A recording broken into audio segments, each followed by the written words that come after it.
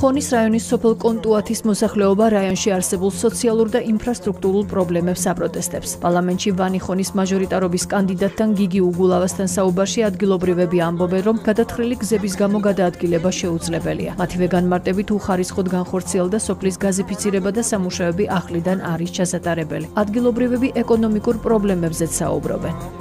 ძალიან ცუდი მდგომარეობაა. გზები არის და გადათხრილი და სუწყლები და გზებში ვეღარ გაივლი ისეთი ამბავია. გაზია და ამდეხანია ველოდებით და აღარ დაგვადგა საშველი. დენია და გაგვიძვირე. აქ ხონის რაიონ სოფელ კონტუაჩიც ის პრობლემებია, რომელიც თლიანად საქართველოს რეგიონებს აწუხებენ.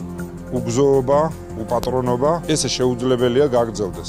ცვლილებები თვის არის საზოგადოებამ მზად უკეთეს ცხოვრება უნდა, რასაც ქართული ოცნება ვერ თავაზობს, ამიტომ ქართული ოცნება დამარცხდება აქ ხონსა და ვანში და დამარცხდება მომდევნო ეტაპზეც, იმიტომ რომ შეუძლებელია ასეთი უპატრონობა გაგრძელდეს დიდი ხანი.